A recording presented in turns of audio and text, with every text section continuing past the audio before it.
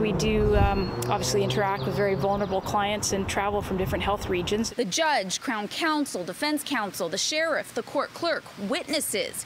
All of these people are often still required to be physically in the courthouse despite COVID 19.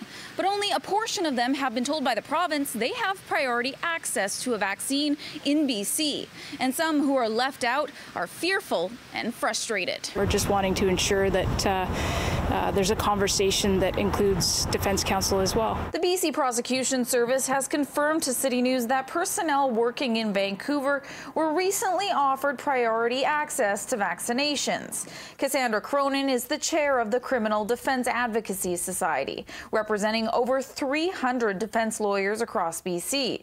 She says while it's great their colleagues are getting the vaccine, defense lawyers across our province are very confused as to why they have been left out considering they are routinely in contact with the public, including high risk populations. If I attend court, for instance, youth court, it's something that is really difficult to do remotely when you've got an, a vulnerable uh, youth who might be Indigenous or a person of color or have other barriers and are vulnerable. Vancouver lawyer Kyla Lee says the difference in vaccine priority among the same group of professionals, lawyers practicing in BC, just doesn't make sense. I was extremely shocked that this had happened, that it had had not been communicated to the public at large and that it hadn't been communicated to defense counsel or to sheriffs uh, or to other court staff that this was going on. We reached out to the Ministry of Health regarding Crown Counsel in Vancouver being given priority access to the vaccine.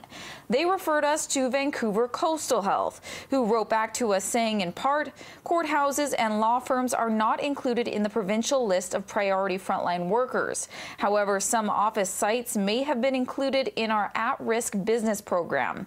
In such cases, invitations would go to those who regularly work at the identified address. Crown Counsel, since roughly April, May, have been appearing by and large in courtrooms over MS Teams. They've not been attending courtrooms in person as often as they would have before the pandemic, and certainly not as often as Defense Counsel. As of now, the Criminal Defense Advocacy Society has penned a letter to Provincial Health Officer Dr. Bonnie Henry asking to be considered for priority access to the vaccine, and they are waiting for a response. To ensure that we're protected, not just for ourselves, but also that we're protecting our clients. Ashley City News.